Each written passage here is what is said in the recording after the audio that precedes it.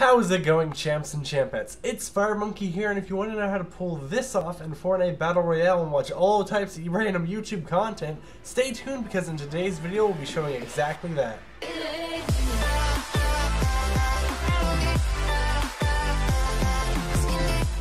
Alrighty, champs and champettes. So, as you already saw by the intro of this video, there has been a way I have found out to get whatever video you want from YouTube just in the game of Fortnite Battle Royale at Risky Reels and just to watch it.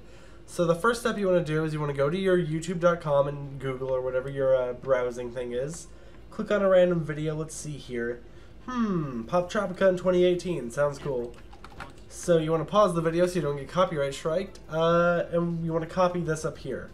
Once you've copied that up there, you want to go to a website which is in the description down below called qdownloader.net. Paste the video link in there and then download it.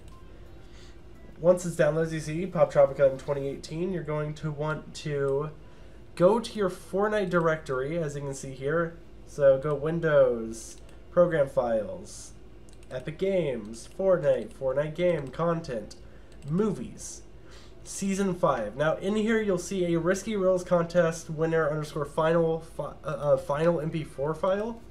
So you want to just have that in there and you want to rename it to something. So I just named it old video.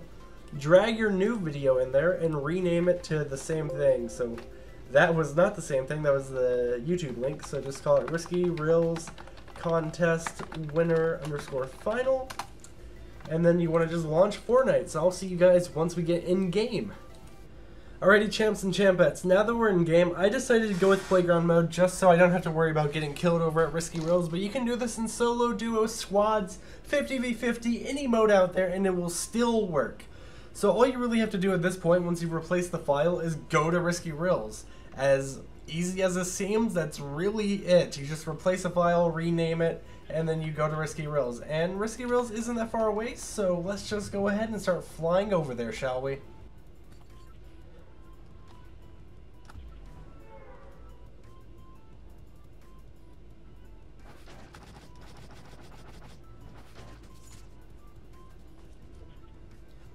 Alrighty, so as we approach Risky Reels, you can see that they have their little intro thing still here, making it look like, oh hey, it didn't work, but just wait because this is actually a separate scene built into the game. Once you get close enough, you'll notice that, oh hey, wait a second, that's not the Omega video that was advertised. This is actually a video about Poptropica. Oh snap, this is the content I like to watch. Not only this, but it's complete with sound. So grab your popcorn and get to watching. Hope this helped any, hope this helped one of you guys out there. If you enjoyed this video, like, comment, subscribe, and I'll see champs and champettes in the next episode. Or video. I don't know what this is. Peace out.